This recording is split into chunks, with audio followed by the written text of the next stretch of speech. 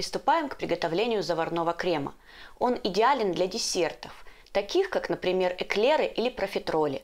А также он просто незаменим для приготовления классического торта «Наполеон». 600 мл молока наливаем в кастрюльку или сотейник с толстым дном и ставим нагревать на небольшой огонь.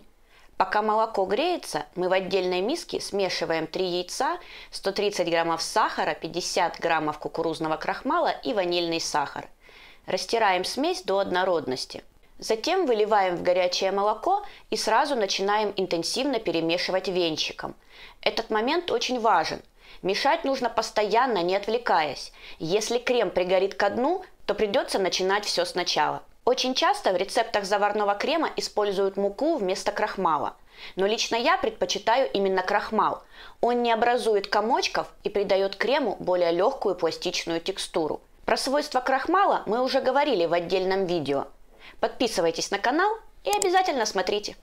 Крем резко начнет густеть. Активно перемешиваем до появления первых явных пузырей кипения. Выключаем. Продолжаем работать венчиком, пока пузыри не успокоятся. А теперь закрываем пленкой в контакт. Это не даст образоваться корочки. Оставляем примерно на полчаса остывать при комнатной температуре, а потом убираем в холодильник.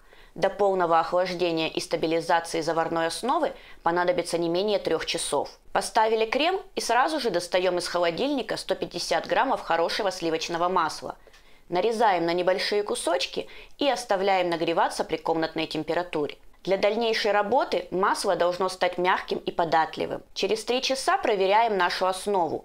Если она остыла до комнатной температуры, то можно продолжать. Взбиваем масло до побеления и пышности. Не выключая миксер, по ложке начинаем добавлять заварную основу. Важно, чтобы масло и основа были одной температуры. Тщательно перемешиваем. Крем получается густым, ароматным и очень нежным.